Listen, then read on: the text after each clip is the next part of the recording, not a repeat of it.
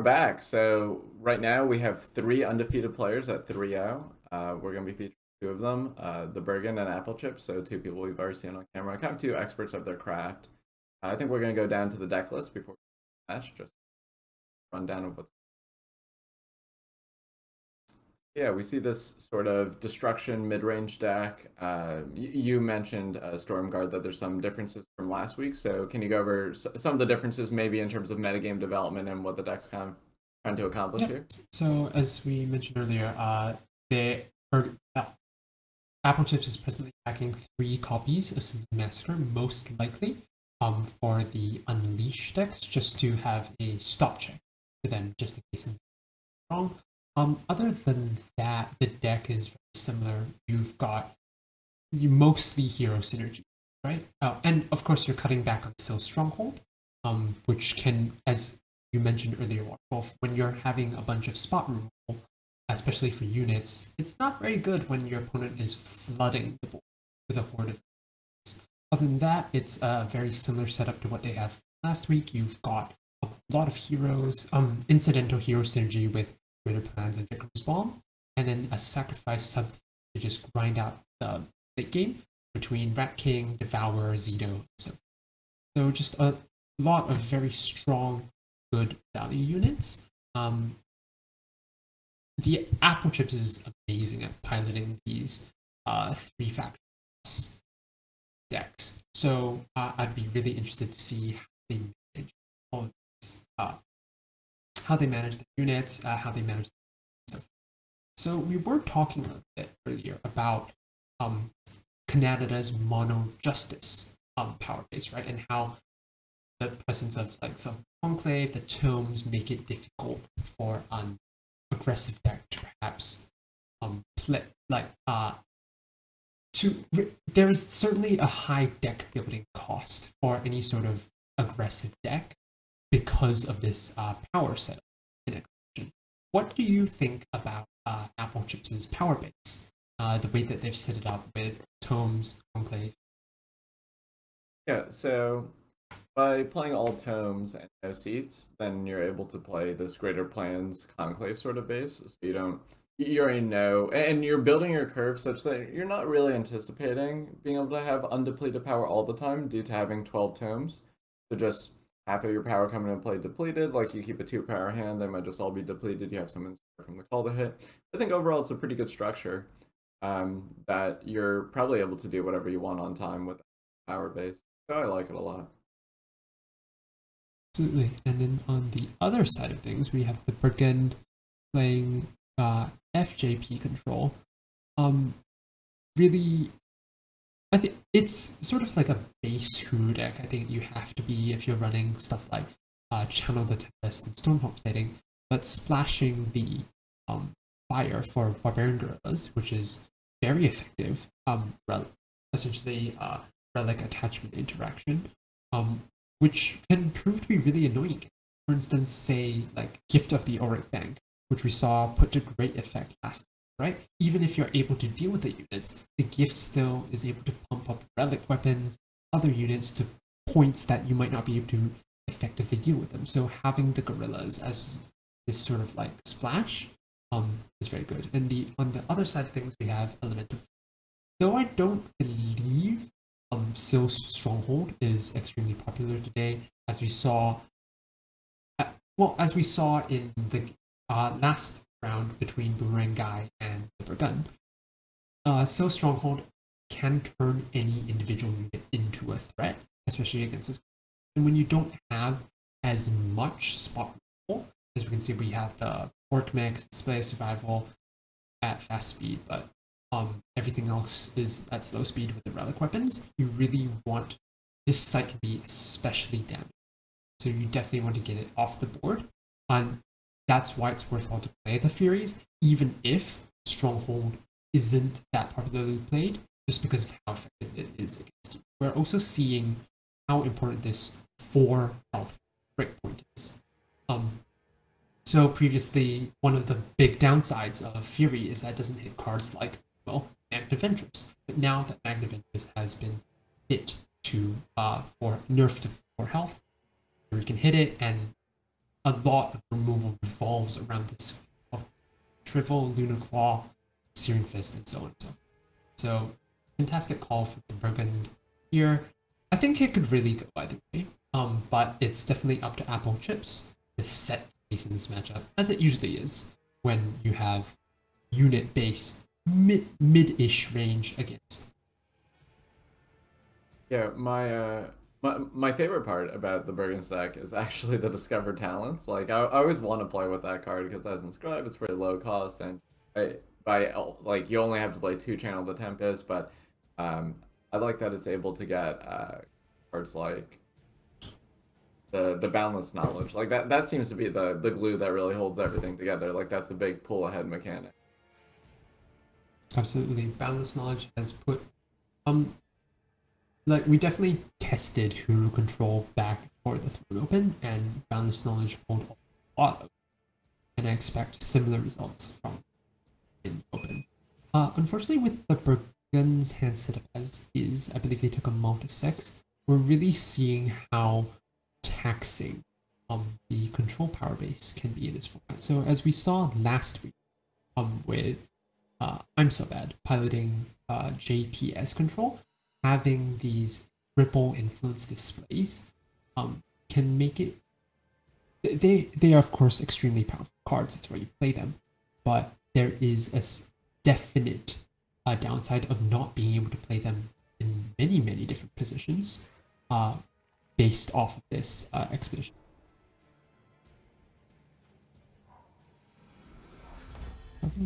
Fury here. Ooh, excellent. Power off the top apple chips, exactly. Just to make sure that they keep hitting these power drops uh, to progress. Uh, the control deck might have mold to uh, six here, but it, it just takes one sweeper for them to claw back all the advantage. Yeah, so one thing that was interesting there was whether or not Apple Chips to play turn one Zito, given that you're.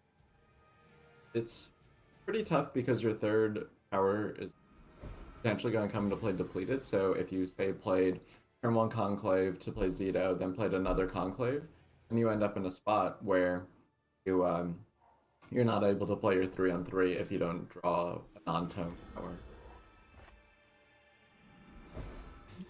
I think I think given that Apple Chips is Apple Chips knows the Bergund's way of getting face ages are display and display, they can afford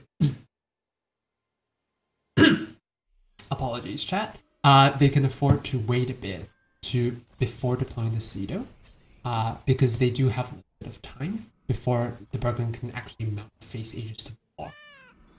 They're actually gonna exactly. have two time this turn. It's a little bit of time. Chat, you can't see my face, but it. I, I have no words. Oh, that, that's gonna be commentating. Wait, we're we're back for some reason. Oh, we're not back for some reason. Good, good thing I wasn't in like an embarrassing pose or something. Uh, okay, my, the, the voice of God's my, just keeping me on my feet. My webcam isn't that good. You can't see my face at super high dev, uh, definition anyway. It's fine. Uh, just just imagine face. Imagine my um, just, hyphen underscore hyphen face. Ooh, and see, we're seeing the Sweeper just claw back bandage here. Would have wanted to snap something like Selena or Victim perhaps, but I think in this position, especially falling behind not any of these strong spells due to the yeah, e- Evelina is really just the best follow up to board clears though. Absolutely. A lot of value. Okay, so in the five drop inscribes, right? I've been I initially was on Cloud Screen just because the time mid range decks generally have a lot of difficulty dealing with flyers. But now that we've rolled back to uh, sweeper heavy meta with massacres, Lethrian and so forth, I think I'm gonna be sold. I think it'd be.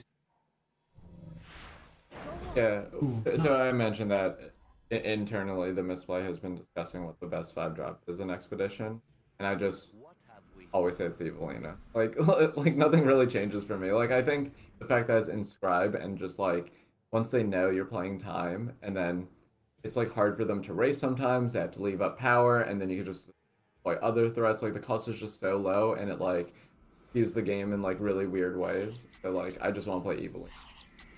Apple Chips putting the screws to, uh, so to speak, to the Burgundy here, realizing okay they probably don't have another sweeper. Um, given that they've already expended two, so I can just dump my hand and try and get them dead. Yep. And still having some uh, reserves just in case there was a third sweeper as well. So it's not like they would have been on empty. Uh, so pretty good for for apple chips, but a, a, large part of that just came down to the mulligans. But th- that's a cost you play when you play these um, three three influence based decks. But even given that they're both playing three influence de- like base decks, I think the way Apple Chips' deck is situated lines up a lot better for their power base than playing your you know, display of survival uh, three faction deck. It, it, makes it a little bit harder. And you're playing cards like Stormhall Plating, so you definitely need to have a bunch of justice. Yep. You, you, need I a lot to come the, together. The way but... that you're right, the way that you're stretching your power base is just too much. It's too much. And one more note, right? Because so the control decks will care a lot more about the damage from Zoltan Conclave mm-hmm. than say the more like mid range person. because you aren't to mount that kind of so if you have to rely on a card like Conclave for fixing, as any of the plus faction decks in this form have to, then it can't that damage adds up very and could easily cause be the difference between you winning or losing. Mm-hmm.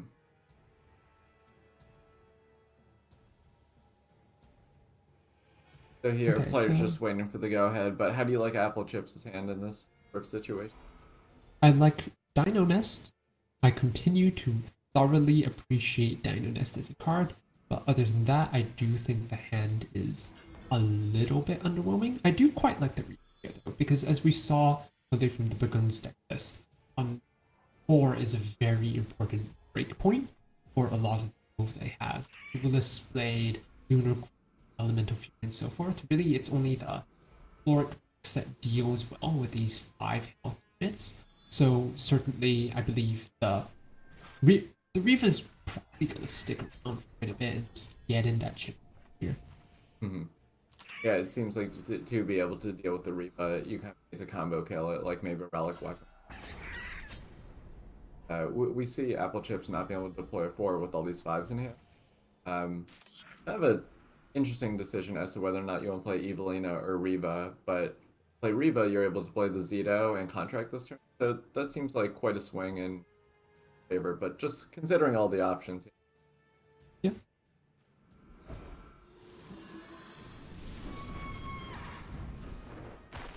I like the Riva here as well, also because you know that the Bergund doesn't have um double justice yet. I mean, they could easily go. Sorry, not double justice, justice, triple justice, uh, for Flawless Spark. Yeah. Mm. So you know that Riva's probably Oh, and heads up play here. So by playing the Boundless Knowledge, you're able to draw two, but you get another copy of Boundless Knowledge. You're going to lose that at the end of the turn, but you just discard to Zito. It turns the Boundless Knowledge pseudo into like a draw three. That's pretty awesome. Excellent play from here. Would not expect anything. So oh, interesting decision for the Bergund here. So they know that the Dino Nest is gonna know, just keep on churning out units. I think it has one more unit. Or no, it flips this turn. Yep. So just kind of factoring that into their plans, but choosing to gain the face Aegis as a small priority there. What will we find today, girl? Evelina coming down now, very importantly, out of element. So the Bergund is going to need this uh Spark very soon. And the, this is this is why Dino Nest is such a powerful card because it gives you units down the line, and like and they just work well, work so well in ten. Yeah, so I think if if the Bergund's able to survive for long enough, the plan is kind of let me just double Elemental Fury to set up a board clear that would kill Riva. So with that in mind, I wonder if Apple Chips is going to hold on to this Rhine arc. It's kind of a tough decision, but I think I think you just gotta hold. Uh, but it's hard when your opponent has six cards in hand. If you if you don't hold though, uh, then you're able to beat a single removal spell like the single. So essentially forcing Bergund to fall spot. spot. They don't. Yeah, That's yeah, good. yeah, yeah. I I agree. Yeah, playing playing the run arc. And yeah, so like that, Apple Chips is able to take it down. Being 4 0. The only other person that might be undefeated is Croge. Croge is 3 0, but got paired down. Um, so pretty much potentially, most likely, almost definitely. I don't know what I'm supposed to say as, you know, someone that's part of the tournament side or whatever, but it, looks like Apple Chips should be making the top eight with that sort of record. Absolutely. Um, And then here's the Croge match to see if they're able to join. okay, so Croge going up against well your teammate here. Hmm. Uh, I do. Yeah, as as we mentioned before, the fact that oh spectral. I don't word chat. I'm sure you Spectral can you can figure. Yeah, the spe- um, the two cost protection spell doesn't that doesn't line up well against the uh, nothing remains out of Croge's list. I I do feel that Croge probably has the upper hand here, but it's definitely close. uh, although this is a lot of power. These I probably mean, these elders are putting in work, and I love it. while, while that is true, you do have this Hojon that has gone off potentially a few times, and uh, you get to see some of that Scale Swarm Patrol plus Hojon combo. So you get to help make the Hojon a little bit bigger, and then it goes a little bit back and forward. I, I will say, as much as I do love Scale Swarm Patrol as a card, I am very happy that uh, Direwolf Digital decided to nerf it and remove the Inscribe. Otherwise, that card was simply far too flexible, far too strong. It is already very strong as is, um, even post and I would play it five. Yeah, I, I think people underestimated um, how good the inscribe is in terms of like just allowing you to keep uh, you otherwise wouldn't. Like it was a good card, but all the other cards in your deck are also good. So just being allowed to not see six card hands very important. But now it's like a three drop that's just always a three drop. Doesn't have the ability to smooth out your power. Doesn't combo with itself where you can play one and then you know, inscribe the other. Yeah, I, I I like the decision there as well to remove inscribe from the. All right, so we're just uh, digging around for a feature at this point. Ooh, who do we The have same here? feature match. Oh, right. They were in game one, course. Oh, Storm, Storm, Storm. What are you doing? Anyway, It's okay. It's a little bit late for you. I uh, think it makes yes, sense. it is. But you know, we, Uh, we we appreciate you. I I kind of like this hand from Roach here. You do you have two pieces for the interaction that most likely uh, will be able to clean the deal with Canan- Canada's units Mhm. and just slowly post you to the uh, late game.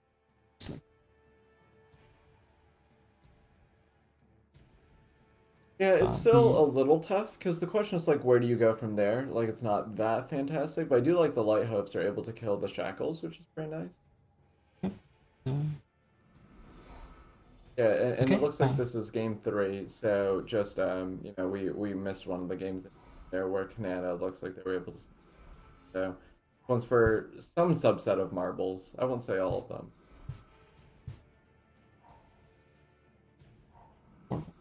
How do you feel about Croge holding onto Lunar Claw here? Uh, I think it's fine. Like, I think you do want, in, especially against uh, Canada, where you, you most likely will be using it to, uh, giving it a strength buff, so to speak. I Mhm. think that holding the lunar card just to make sure you, that you can kill something uh, from the opposing side of the board makes Right, you're not running into a situation where they're gonna play like Dino Nest or some card that's gonna head and just treating it like uh, a more a more specific slay of sorts, while potentially being able to gain some armor if you just leave it around, like not having too high aspirations for it. We see the combo Stormhawk plating though. This one's gonna gain a little bit more life. I will say this though. I do. I am very pleased with the existence of Sharp Vision as a metagame, specifically against this black. That hopefully, if Canada can uh, more powerful here, that would be eight, which gonna be well. I mean, Croge, a lot of Croges between the shadows, but still very solid. The uh, the sharp tactician being a really good answer to Black Book, being able to tussle with it afterward. But probably And on maybe most a importantly, Mystic Shackle. Not a spell. Okay.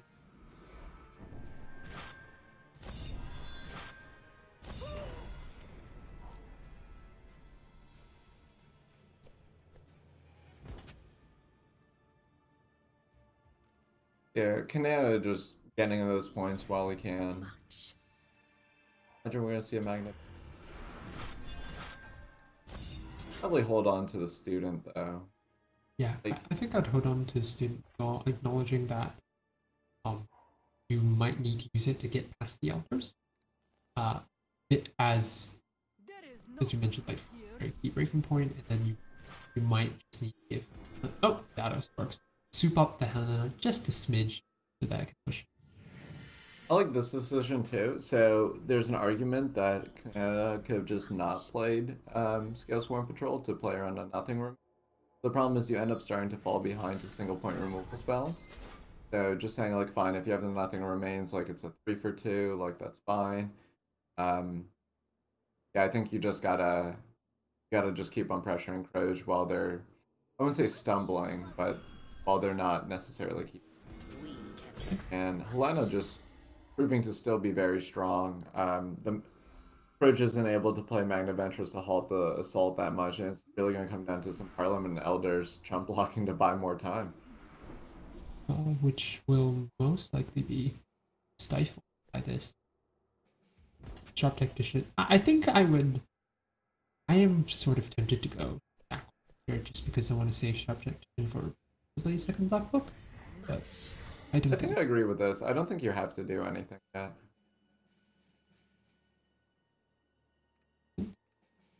Like, you might just be able to law me. Yeah. Fine too. Because make it so that way if they do nothing, then you can sharp tactician the other one attack for lethal, given that they didn't take the opportunity to block. We know that Croge is probably going to play the Magnaventress on the student just to be able to gain the free armor.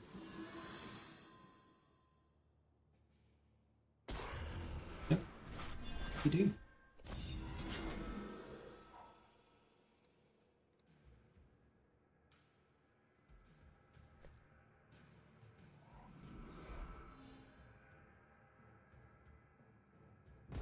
So here, Probably- yeah, I like attacking first, and then I want to say deploying the heir of Parliament Elder. I think that probably yes, you're playing a little bit into the nothing remains unfortunately. I think that was gonna happen if you if you're looking to just try and close out the game for Grove Conf- I think I actually like playing sharp tactician on the the elder attack attacking, and then if if a sweeper happens, then you play the Parliament Elders because then you have two separate threats, and then makes sense as well. it's like okay, fine, your opponent hasn't shown that they're missing a power yet, so maybe they end up having like Stormhalt plating, but they would have to have power Stormhalt plating and. I guess I guess that's the main reason Oh. for this. Th- this is the best play against Stormhalt plating. Amanda ends up Yeah. taking it, taking down that match, leaves Apple Chips as the sole 4 and then uh, Can- Canada being joining Croge as a 3-1. So still in the thick of it. I think they're both very likely to make top eight. Maybe not a lock. Maybe playing for it next round. Depends on the number of players. But we'll see if there's any other matches that we can bring you. But I'm still liking this variety. Like I feel like last week was very much the even though Game Grump won with uh with Argenport control or mid range, however you want to put it. Um, I felt like the talk of the town was kind of these Xenan and Destruction decks, and I feel like we're getting a lot more variety this week. Absolutely. I like I think there there have been complaint I personally still do think that the Unleashed deck has the but that having said that, there is so much variety. A lot of viable strategies in this metagame. I can't wait to see how it evolves this week. Yeah. yeah it should all be fun. Also, matching Pokemon mugs. Yay. Yeah. Go us. All right, so we do got another match. So we got Boomerang guy who we've seen on camera before against. I'll have to wait for the. Let me check Battlefy. Um, Nominus, I believe. Yeah, Nominus and Boomerang guy are the only undefeated so far. So Yeah, both it looks to be a mirror true- match of sorts.